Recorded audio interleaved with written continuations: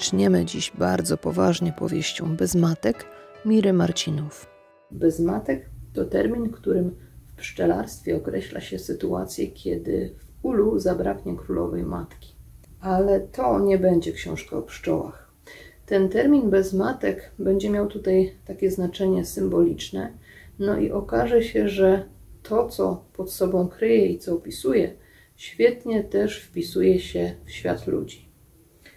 Główna bohaterka tej opowieści, narratorka zarazem, opisuje relacje ze swoją matką. Matką, która we wieku niespełna 60 lat odeszła po rocznej batalii z rakiem.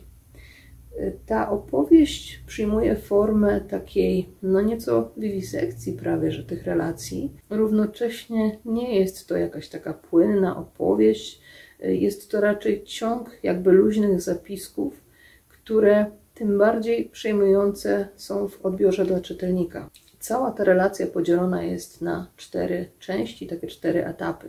Pierwsza część to opis e, dzieciństwa głównej bohaterki.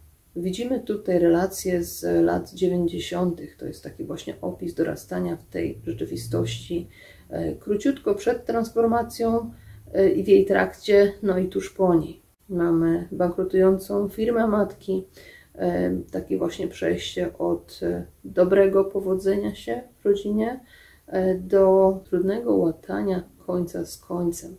Jest tutaj opis takiej może nie toksycznej relacji, ale bardzo silnej więzi właśnie między matką a córką. Więzi u podstawy której leżało to, że kobieta samotnie wychowywała dwie córki, była po trzech małżeństwach jej relacje z własnymi rodzicami też nie były jakieś idealne.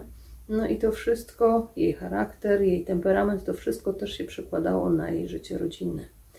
E, tak więc nie były to zawsze łatwe relacje. Drugi etap to z kolei część opisująca ten rok walki z rakiem.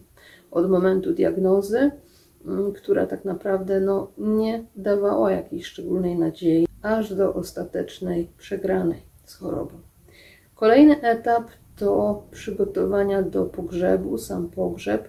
Natomiast ostatnia część to okres już po tym wszystkim, okres, kiedy matki już nie ma, okres żałoby, która powinna trwać około rok, a tak naprawdę trwa nadal i im dłużej tej matki nie ma, tym bardziej jej kobiecie brakuje. Jest to książka bardzo osobista i bardzo prawdziwa przede wszystkim czytelnik ma czasami wręcz wrażenie, że nawet nie tyle podgląda czyjeś życie, ile wchodzi e, z butami wręcz do czyjejś duszy, do czyichś przeżyć, do czyjejś głowy. To kawał dobrej, osobistej prozy, którą w zasadzie da się przeczytać spokojnie w jeden wieczór, ale myślę, że warto dać sobie na nią trochę więcej czasu. Zmieniamy zupełnie klimat. Teraz drużyna pierścienia Tolkiena bez względu na to, czy ktoś oglądał ekranizację Petera Jacksona, czy nie, e, jest to jedna z tych książek, z tych serii w zasadzie, którą tak czy inaczej warto przeczytać. Ta historia zaczyna się, kiedy Bilbo Baggins, bohater powieści Hobbit, jest już w dość zaawansowanym wieku. Zbliżają się jego 111 urodziny, mm, ale sam Bilbo czuje się nad wyraz dobrze, wręcz rozsadza go energia, tęskni do tego dreszczyka emocji, do tej adrenaliny, która towarzyszyła mu podczas wyprawy z krasnoludami i planuje wyruszyć w podróż. Zostawia swojemu siostrzeńcowi o imieniu Frodo całą schedę, w tym pewien klejnot, pierścień. Bilbo wie, że jest to pierścień magiczny, zdążył już tego doświadczyć na własnej skórze, ponieważ pierścień, kiedy wsuwa się go na palec, sprawia, że człowiek staje się niewidzialny. Zresztą uratowało go to z niejednej opresji. E, ale Bilbo nie zna całej prawdy o tym pierścieniu. Szybko bowiem okaże się, że pierścień ten nie jest taką zwykłą magiczną błyskotką, tylko jest potężnym przedmiotem pożądania władcy ciemności Saurona. Jest pierścieniem władzy, pierścieniem, którego właściciel może zawładnąć całym śródziemiem. Można się więc domyśleć, że Sauron będzie robił wszystko, żeby ten pierścień odzyskać, a sam Frodo, zresztą jak całe Śródziemie tak naprawdę, znajdzie się w śmiertelnym niebezpieczeństwie. Jedynym sposobem, aby powstrzymać Saurona od objęcia władzy nad całym Śródziemiem, jest tak naprawdę zniszczenie pierścienia. E, ale nie da się go zniszczyć po prostu kładąc go na kowadle i rozbijając młotem. Trzeba wrzucić go do czeluści pełnych ognia w krainie Mordoru. I misji tej ma się podjąć właśnie ów mały, niepozorny niziołek Frodo. E, Frodo tak naprawdę nie wyściubiał nosa poza Shire. No, bywał co prawda w krainie elfów, ale generalnie cała reszta Śródziemia jest mu nieznana. Nie ma on pojęcia, z jakimi niebezpieczeństwami mógłby się gdzieś po drodze spotkać, ba nawet nie zna drogi do owego Mordoru. Wiadomo więc, że będzie musiał skompletować drużynę, która pomoże mu się dostać do miejsca przeznaczenia. I o tym, o tym kompletowaniu drużyny pierścienia i o drodze do Mordoru jest właśnie ten pierwszy tom. Nie będę Wam po kolei opowiadać, co się tam po drodze działo, bo pewnie większość z Was zna już tą historię. E, tak czy inaczej odsyłam do książki. Naprawdę warto poznać ten literacki pierwowzór, e, szczególnie jeżeli komuś spodobał się film. Serdecznie, serdecznie polecam. Zakończymy pełną humoru książką do trzech razy śmierć Alka Rogozińskiego.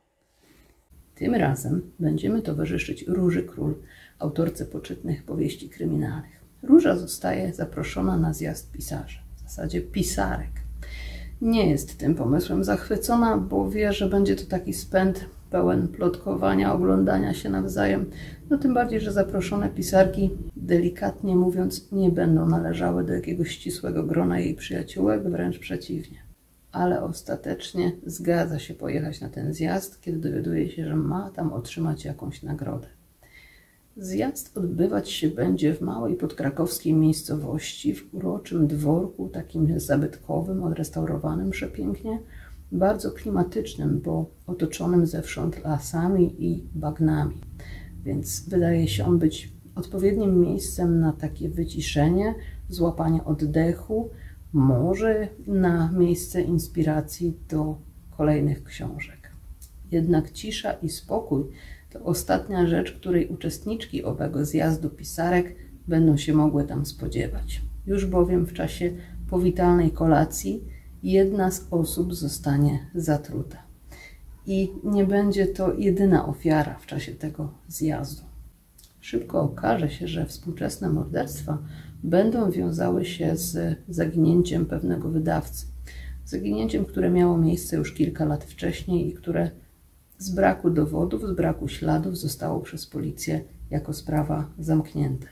Mało tego, wkrótce okaże się, że owe zbrodnie będą dziwnym trafem nawiązywały do debiutanckiej powieści Róży Król.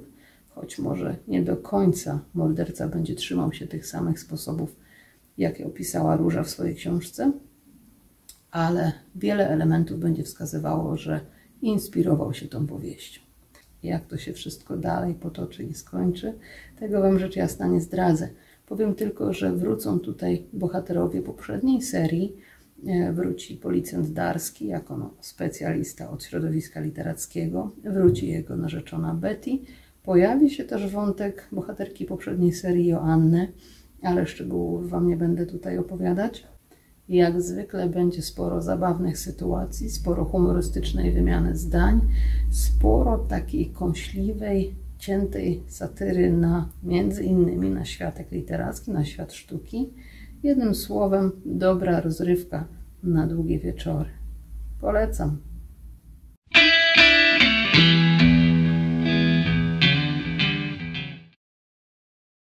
Zaczniemy od lotu pomarzenia Kasi Keller Malwinka znana jest ze swojej bujnej wyobraźni, która sprawia, że każda nawet niepozorna zabawa zmienia się w fantastyczną przygodę. Nie inaczej jest tym razem. W tym tomiku przeczytacie o trzech przygodach Malwinki i jej przyjaciółki, pluszowej alpaki Lusi. Będą to historie zabawne, ciekawe, barwne, ale ich największą wartością jest to, że oprócz tej zabawowej formy, takiej rozrywkowej, zawierają bardzo mądry i wartościowy przekaz. I tak na przykład w pierwszej historyjce o strusiu, którego największym marzeniem było wznieść się w przestworza i latać, obejrzeć sobie świat z lotu ptaka, dowiemy się, jak wielką siłę ma przyjaźń, bo struś nie dałby rady zrealizować swojego marzenia bez pomocy przyjaciół. Kolejna opowieść to historia zabawek, porzuconych zabawek, których właściciele dorośli już, przestali się tymi zabawkami bawić, e, bądź no, wyrzucili te zabawki z różnych powodów, bo były zniszczone, bo coś im się urwało, albo zwyczajnie im się znudziły. Tym mieście porzuconych zabawek Malwinka i Lusia znajdą m.in. pluszowego zajączka, który twierdzi, że bawi się w chowanego, ale tak naprawdę zgubił się swojej właścicielce, a sam uznał, że porzuciła go na rzecz może innych zabawek, może bardziej dorosłych spraw. Ta smutna i taka nostalgiczna opowiastka będzie niosła również bardzo wartościowy przekaz o tym, że żeby zmienić świat wokół siebie, trzeba najpierw siebie samego polubić. Natomiast ostatnia opowiastka będzie opowiadała o szacunku dla inności, o tym, że ta inność, to, że czego innego się boimy, co innego lubimy, czym innym się interesujemy, jest bardzo fajna i sprawia, że wszystko wokół jest ciekawsze i lepsze, bo przecież świat byłby bardzo nudny, gdyby wszyscy lubili to samo i byli tacy sami. Serdecznie polecam te zabawne i naprawdę mądre opowiastki. Teraz poczytamy o kotku, który bał się wszystkiego Erika Emanuela Schmidt. Fortunio to bardzo strachliwy kotek, szczególnie jeżeli porówna się go z jego bratem Lolkiem. Lolek jest bowiem tak odważnym kotem, że choćby najwyższe drzewo, najwyższy dach stodoły, najbardziej chybotliwy mostek nad rywącą rzeką, żadne z tych miejsc no, nie budzi w nim lęku, wręcz stanowią dla niego wyzwanie – im wyżej, im bardziej groźnie, tym lepiej i ciekawiej. Pech chce, że Lolek w te swoje groźne, niebezpieczne zabawy wciąga również swojego brata Fortunia, co jak się możecie domyślać, no temu ostatniemu nie sprawia przyjemności. Wręcz przeciwnie, napawa kotka ogromnym lękiem. Boi się on, że kiedy zeskoczy z drzewa, no nie tak ułoży łapki i którąś z nich złamie, że gdzieś zahaczy, że ogon mu się zapląta i tak dalej. Jednym słowem, że wszystko to skończy się wielką tragedią. Staje się w ten sposób pośmiewiskiem dla swojego brata i dla pozostałych kotów. Jest nawet zły sam na siebie, bo chciałby być odważny. No ale cóż może poradzić na to, że po prostu się tego boi. Prosi o pomoc swoją babcię, kocia babcię, która też nieraz musiała ratować go z opresji. I ta radzi mu, aby po pomoc i po dobrą radę zgłosił się do mądrej sowy. Tak też Fortunio czyni. Niestety rada sowy okazuje się bardzo taka enigmatyczna i niewiele mu pomaga. Sowa bowiem stwierdza, że tej odwagi kotek musi szukać sam w sobie. Fortunio stwierdza, że pff, też mi wielka porada. Już nieraz tej odwagi sobie szukałem i ani grama jej nie znalazłem. Już wkrótce miało się okazać, że odwaga Fortunia będzie wystawiona naprawdę na ciężką próbę. Bawił się on bowiem pewnego dnia na łące, tam zresztą, gdzie bawiły się również inne koty, w tym jego siostrzyczka. I w pewnym momencie zauważył na trawie cień olbrzymiego ptaka, orła, przed którym zawsze przestrzegała go babcia. Orzeł, wiadomo, olbrzymi, silny ptak. Cóż dla niego za problem, żeby porwać swoje szpony małego kotka? Fortunio bał się, ale nie bał się o tyle o siebie, ile o swoją malutką siostrę która bawiła się na tyle daleko, że ani nie słyszała jego okrzyków, no, ani też on sam nie mógłby dobiec do niej, nie mógłby zdążyć dobiec do niej przed orłem. Mimo wszystko Fortunio próbuje się do niej dostać, prosząc o pomoc spotkane po drodze zwierzęta kozę, konia, zająca. Niestety, żadne ze zwierząt nie chce mu pomóc. Musi on więc wziąć sprawę w swoje łapki i przezwyciężyć strach, który ogarnia go przed całą sytuacją. I jak to się wszystko potoczy? Czy nasz główny bohater nie skończy jako przysmak w Orlim Gnieździe? Odsyłam do książki i bardzo serdecznie polecam tę ciekawą, pięknie ilustrowaną i bardzo mądrą opowieść. Skończymy burzliwymi dziejami piratera Barbara Wojciecha Witkowskiego. Tytułowy bohater nie od zawsze był piratem. Wręcz przeciwnie, na początku zaczynał jako zwykły żeglarz, bardzo lubiany zresztą przez innych marynarzy, bo był silny, mądry, sprytny, mm, ale kiedy dowództwo nad jego okrętem, nad jego fregatą objął kapitan Ocet, kiedy przemianował łajbę, nadał jej nazwę Kaczy Cooper, no nie spodobało się to ani Rabarbarowi, ani reszcie załogi.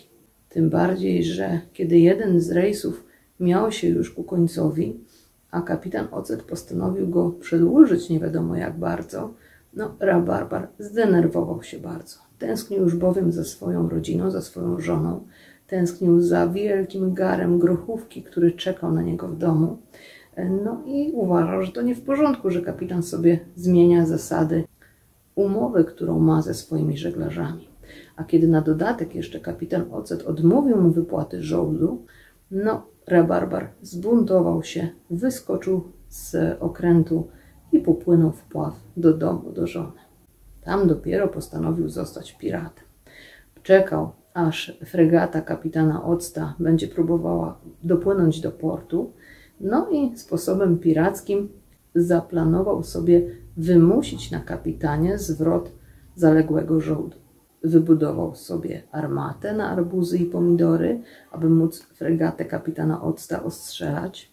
Wkrótce też dobudował sobie specjalne pirackie udogodnienie do własnego domu, bo no, zbyt długo pływał po morzach i oceanach i nie mógł zasnąć na lądzie. Brakowało mu tego bujania fal. Zresztą szybko też przekonał się, że no, jeśli chce być piratem, musi mieć okręt. E, założył się więc z miejscowym szkutnikiem, że sam sobie taki okręt zbuduje. Spodziewał się zresztą Rabarbar, że to jego pirackie życie na lądzie będzie spokojne, że będzie miał czas, żeby sobie dobrze podjeść, dobrze pospać, spędzić trochę czasu z żoną.